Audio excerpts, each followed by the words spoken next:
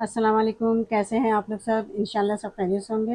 अच्छा देखें आज मैंने बनाए हैं बहुत ही क्रिस्पी, बहुत ही अच्छे चिकन टेंडर। बहुत ही इजी तरीके से बने हैं। देखें, कितने क्रिस्पी हैं। तो चलिए देखें हम किस तरह बनाते हैं। अच्छा चिकन टेंडर बनाने के लिए हमने लिया है ये चिकन का ब्रेस्ट पीस है। इस तरह के मैंने दो पीस लिए हैं। इनके मैं छोटे, थोड़े छोटे पीस करूँगी।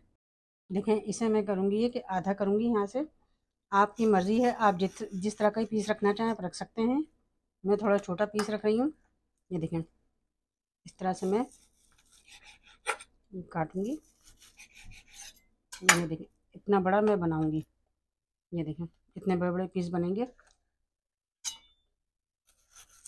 देखिए मैंने इस तरह पीस काटे हैं। अब ये इसको मैं थोड़ा हल्का हल्का इससे मारूँगी। ताकि हम जो इसको मैरिनेट करें तो इसके अंदर अच्छे से जज्ब हो जाए मैरिनेशन चीज़ें।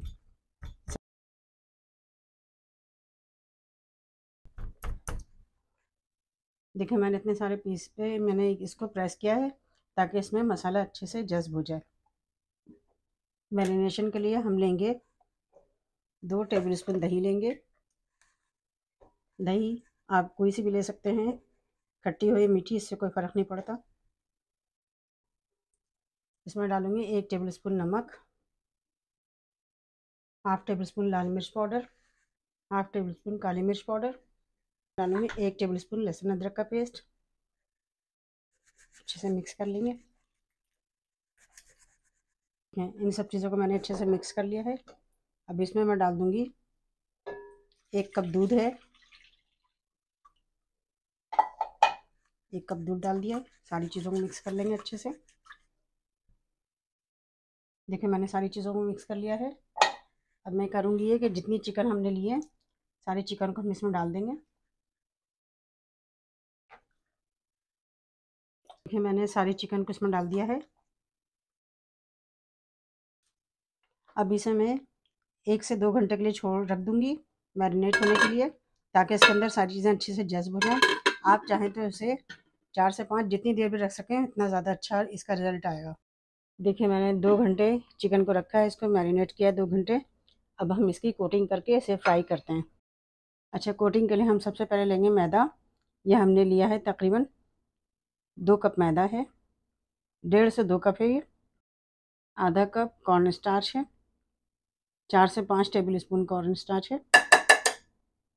काली मिर्च पाउडर है, एक टेबल स्पून एक टेबल स्पून नमक है ये। आपके पास अगर गार्लिक पाउडर हो तो वो भी डाल लीजिएगा इसमें। इसे हम मिक्स कर लेते हैं।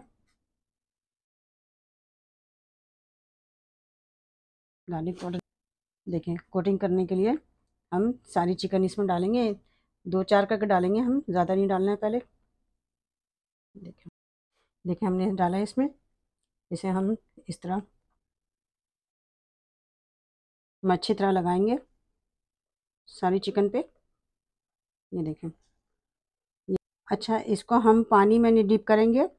हम करेंगे ये कि इसके अपने जूस में हम दोबारा इसको डिप करेंगे, जो हमने मैरिनेशन के लिए बनाया था। दोबारा उसी में हम करेंगे। देखिए हम दोबारा इसी में हम डिप करेंगे ताकि इसका अच्छा सा जायका आ जाएगा। हम पानी में नहीं कर रहे मैदे में डालेंगे। अब इस वाले को भी हम इसी तरह करेंगे। दोबारा इसी में करेंगे। देखें, दोबारा हमने इसको इसमें डाल लिया मैदे में। देखिए, हमने सबको इसमें डाल के अच्छे से कोटिंग कर लिया है। ये देखें कितनी अच्छी से इसकी कोटिंग आई है। ये देखें, कितनी अच्छी से इसकी कोटिंग आई है। इसको हम यहाँ रख रहे थे हम सारी चिकन को। ये देखें, कितनी अच्छी कोटिंग है, सब चिकन को हम इसमें रख लेंगे कोटिंग करके। देखें मैंने सारी चिकन की कोटिंग कर लिया अब हम इसे फ्राई करते हैं। ये देखें ऐसे डालती फ्राई करती हूँ।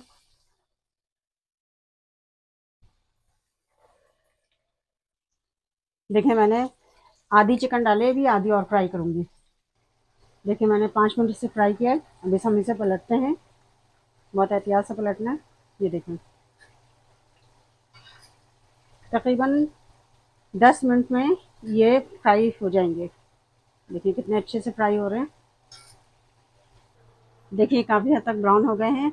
ये अब और थोड़े से और ब्राउन हो जाए तो हम इसे निकाल लेते हैं। इसे फ्राई करने में तकरीबन आठ से दस मिनट लगते हैं। देखिए ब्राउन हो गए। अब हम इसे निकालते हैं। देखिए, हम इसे निकालते हैं। देखिए, कितने अच्छे से ब्राउन हो गए। लेयर भी अच्छी आई है इसकी। देखिए, कितने अच्छे से, कितने अच्छे टेंडर तैयार हुए हैं ये। देखिए, इसकी लेयर भी कितनी अच्छी आई है। और क्रिस्पी भी बहुत है।